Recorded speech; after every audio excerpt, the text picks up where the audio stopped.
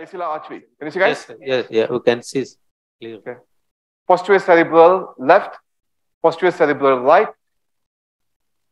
superior cerebellar left, superior cerebellar right, Right. third cranial nerve.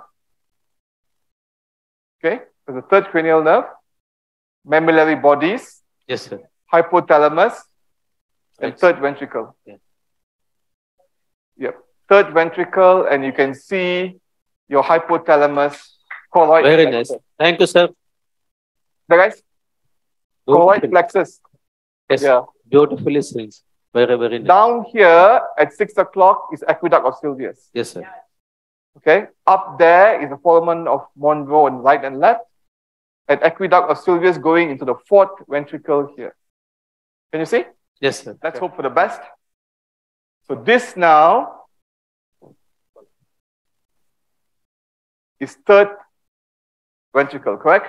Yes, sir. Yes. With a 30 degree scope, let's see whether you can see the foramen of Monro. Ah, foramen of Monro, left. Yes, sir. Yeah. Foramen Nice. of Monro, right. Okay, please clap for Shashi again. There.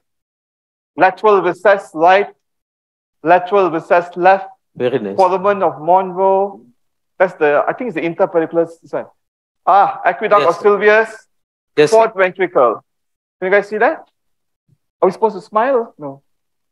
Oh, your, your husband, right? Oh, okay. Please clap one more time for husband.